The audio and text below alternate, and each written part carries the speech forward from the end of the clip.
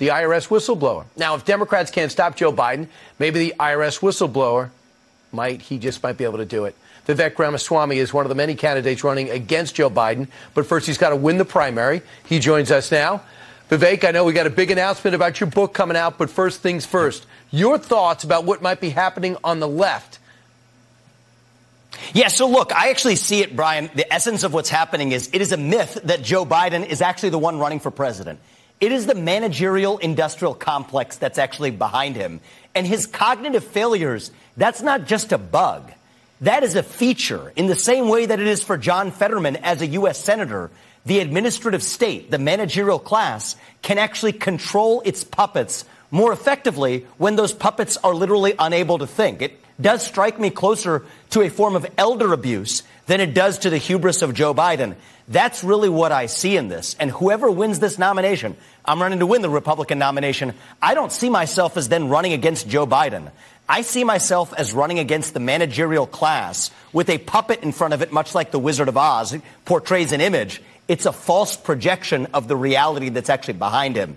That's actually what I see, Brian. And I think that once we wake right. up to that, we realize this is the managerial class versus the everyday citizen. I mean, we saw it in Pennsylvania. You got a world renowned surgeon who lost to a man that's clearly not functioning in Senator Fetterman, and it doesn't seem to matter.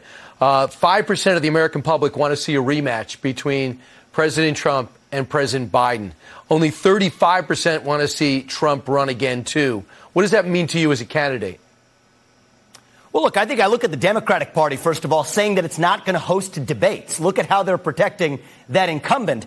I think we in the Republican Party need to be the opposite of that. We need to lead the way with actual vision. Ask the question of the what and the why. Stop obsessing over who we prop up through the question of the who. That's for the Democratic Party. And so what I see as the opportunity here is for us to actually lead in the conservative movement with vision, Brian. We've talked enough about bashing the Biden agenda. What's our own vision?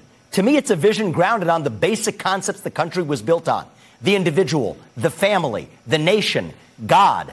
Let's start talking more about those things. And if we're successful in painting the vision of what it means to be American, I think we win this election in a landslide.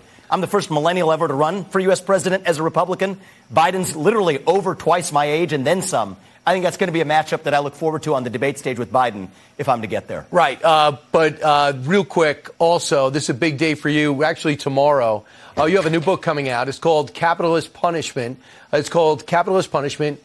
How would you characterize what we're going to get tomorrow? We're going to be able to buy. Yeah, so I actually wrote this book long before I knew I was running for president. It goes into the details of the ESG movement, how the Biden administration and the left uses companies and asset managers and financial institutions to do through the back door what they could not get done through the front door under the Constitution. You wonder what's happening at Budweiser. You wonder what's happening in corporate America when they actually adopt these woke policies. It's because there's puppet masters behind the scenes like BlackRock and State Street who are imposing these ESG agendas using your money to do it. And so the subtitle of the book is How Wall Street is Using Your Money to Create a Country You Didn't Vote For. That's how I got the title Capitalist Punishment. And even mm though I'd written the book beforehand, I really wanted to put it out even though we're in a campaign. I'm donating all my proceeds actually to a nonprofit that's pursuing litigation right. against the likes of American Express. But I think that's what we need to educate Americans on in this country. Hey, Vivek, you could uh, capture this slogan uh, Vote for Vivek. I won't take away your car or your gas oven. That would be a change because that's what's happening. Every day we're losing something else. Yeah, you want vote for Vivek is abandoning the climate religion. That's a big part of what it is. Abandon the climate cult. We describe it on our website, Brian, pretty well. Vivek2024.com. Right. You want to see how we take America first to the next level? Let's start with abandoning that climate cult. And ESG is a big part of that cancer. Well, I'll tell you what, anyone on the debate stage with you better bring their A game. Vivek, thanks so much. Congratulations on your great start. Thank you, Brian. Appreciate it. You got it. Meanwhile, there are new signs tonight that the crime epidemic under Joe Biden is completely out of control. Kevin Corke has that story. Kevin. Even Brian, this is interesting, actually. You know, until recently, the armored car industry, frankly, catered